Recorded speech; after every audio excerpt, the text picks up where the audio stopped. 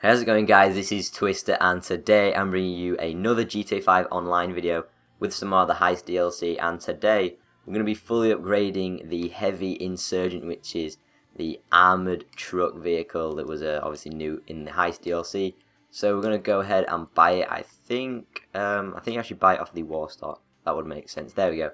So we're going to go for the normal Insurgent because this is the one that you can actually store in your garage and fully upgrade it um, otherwise, I would be buying this one, which is the nine seater with the uh, with the turret on the back. But unfortunately, that's a Pegasus vehicle, and you can't store it in your garage. Uh, so for that reason, we're gonna we're gonna be going for the standard insurgent, and we're gonna buy it now for six hundred and seventy-five thousand dollars, which is quite a lot of money. But I've got quite a lot of money from doing heists. I'm currently I'm currently up to the final heist. I've done the first heist, second heist, third heist and the fourth heist, and uh, I did have just over 1.2 million, but now I'm at $500,000. So uh, we're gonna wait for our vehicle to be delivered to our garage, and then I'll be right back with you guys with the fully upgraded uh, heavy insurgent. Alright, so here we are. We have the uh, the heavy insurgent. It's been delivered to our garage, and this thing again looks like a monster. It's pretty huge in the garage. I mean, let's compare it to the Massacro. Oh my god, this thing is an absolute tank. Uh, but as usual, guys, if you did miss any of my previous videos, where I fully upgraded the Kuruma, the Casco, and over here the Vapid Guardian. If you missed either of those three fully upgraded videos, I'll uh, leave links to all of those in the description so you guys can watch those too. And another thing I want to quickly mention before we uh, fully upgrade this orb as we drive to the customs, I want to just take a second uh, to thank you guys because you guys have uh, shown some awesome support recently on the Heist DLC videos and the car upgrade videos. So I just wanted to thank you guys and same again with this one as usual, if you guys do want to show your support as I crash into an indestructible hedge, if you guys do want to show your support by leaving a like rating, that would be always appreciated. Um, so there we go, thank you guys so much, and like usual, we're going to be full upgrading this heavy insurgent. Now, now one thing I've been wondering to kind of is um is whether to go for wow I drove straight into the garage is whether to go for like really bright colours because that's what I see a lot of people doing car showcases is they try and make the vehicle as brightly coloured as possible so then it makes people want to click on it. But I don't know, I, I, I kind of I kind of like my my cars looking rather nice rather than too too outlandish so I'm probably not going to be going for anything too extravagant on this. Um, we'll go for the Truck-on because this is an absolute heavy duty vehicle. Can you actually get neons on this thing? Wait, hang on, I need to actually select neons. Uh, front, back and sides, neon colour.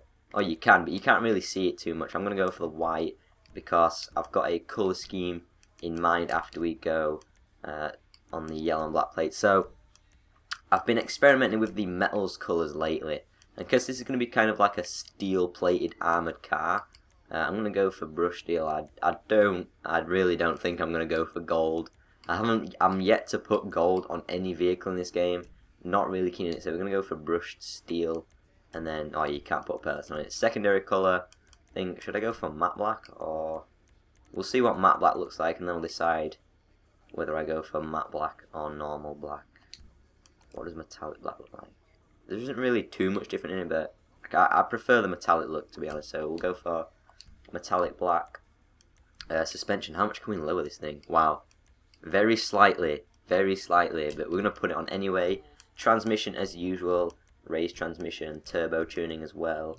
Um, so wheels, we're going to want to go off-road, because it's, like I said, heavy-duty vehicle. C should we go for chrome rims? Hmm.